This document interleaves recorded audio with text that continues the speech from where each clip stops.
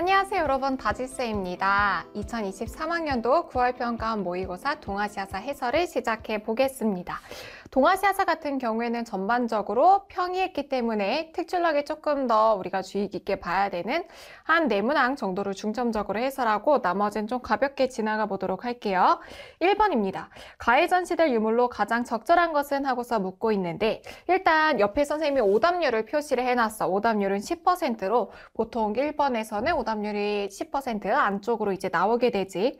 동아시아의 신석기 문화에 대해서 묻고 있고 창장강 하류에서 발달한 문화 다라고 하는 표현을 통해서 흥양 다허 여러분 무슨 문화라는 거 알 수 있지?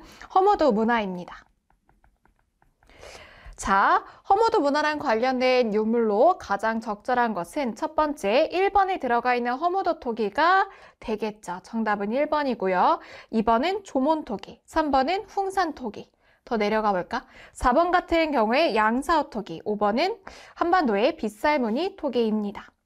두 번째 문제 넘어가 볼게요. 자, 가인물에 대한 설명으로 옳은 것은 하고 묻고 있어. 해당 문항은 오답률이 11%입니다.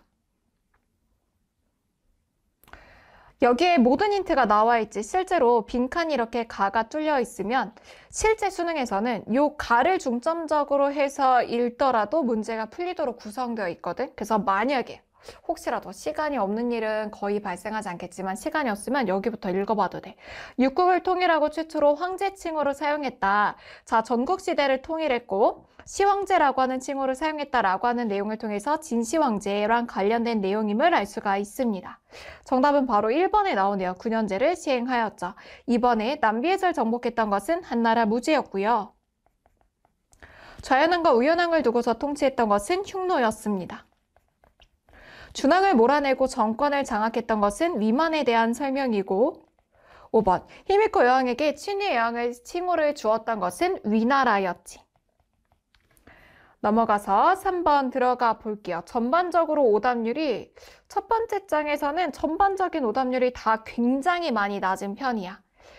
가국과의 대외관계에 대한 설명으로 옳은 것은 하고 묻고 있죠. 가의 야율덕광이라고 되어 있는데 자 야율시 자체가 중요한 사회 지배층이다 라고 하는 것이 이 거란족사의 특징인데 혹은 이걸 모르더라도 내려가도 돼. 내려가 봤더니 석경당이 나와 있죠. 석경당은 후진을 건국한 인물인데 이 사람이 후진을 건국하는 데 도움을 주게 되면서 가의 국가는 16개의 주를 떼어서 받게 되었죠. 여기서 말하는 것이 바로 연운 16주이고 그렇기 때문에 가는 거란족이 세운 요나라라는 걸 알 수가 있습니다.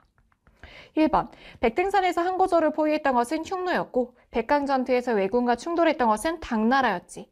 호라즘을 정복하고 비단계를 장악했던 것 몽골 제국에 대한 설명이고 송과 전연에서 형제의 맹약을 체결했던 것 여기에 바로 요나라에 대한 설명이죠. 정답은 4번입니다.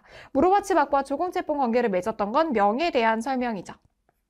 4번 가나 인물에 대한 설명으로 옳은 것은 자, 내려가서 살펴볼게. 오답률 14%. 이것도 오답률은 굉장히 낮지만 이 문제를 좀 어렵다고 느꼈던 친구들이 있었어. 왜냐면 사실 6월 평가원에서도 병자란과 관련된 문제는 출제가 됐지만 이렇게 병자론과 관련해서 정확하게 인물, 홍타이지나 인조를 지정해서 나왔던 적은 없기 때문에 약간 당황할 수는 있겠죠.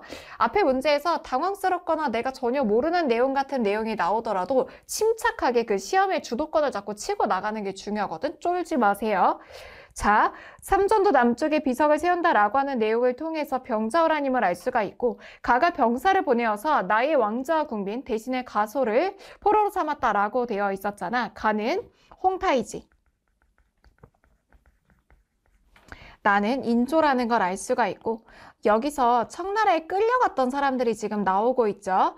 청나라에 누가 끌려갔어? 소현세자. 그리고 나중에 효종으로 즉위하는 복림대군이 끌려갔지.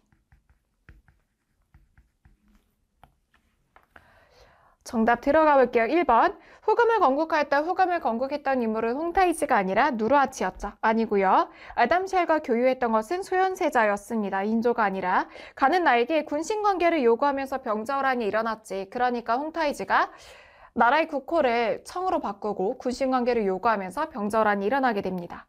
나는 가에게 통신사 파견을 요청하였다. 통신사 파견을 다시 재개해달라고 요청했던 거. 그러니까 일본이 우리나라에 요청해야 되는데 만약에 통신사 파견을 요청했다, 재개했다라고 하는 표현이 나오면 에도 막고 수립되고 난 다음에 조선에 요청하게 되죠. 나는 가의 요청으로 강홍립을 파병하였다. 강홍립은 광해군 시기에 명나라의 요청으로 파병을 했었죠. 아닙니다.